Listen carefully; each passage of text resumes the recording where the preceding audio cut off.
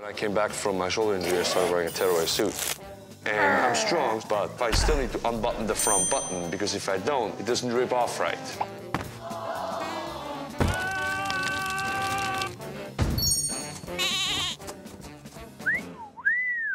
So there's Survivor Series Toronto, sold out building.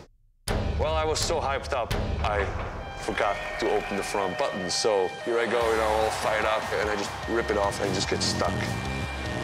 I'm like, oh God, oh God. And I try to like wrestle it off. I felt like I was in a straitjacket.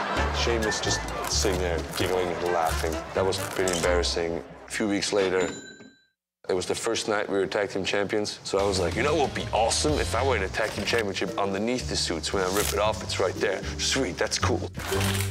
And then uh, we had a promo, so I have to hold the microphone. Here's me trying to rip the suit off while holding the microphone. So I'm like, oh, okay, got the suit uh, here, and then like switch the microphone, get rid of the other side, and then I try to like rip the pants off with the microphone in my hand. The one side just gets stuck, and I'm like, oh God, oh God. I come to back and I got like a million people sending me an animated picture of me not being able to get the suit off. Suit 2, Cesaro 0. Suit wins a lot.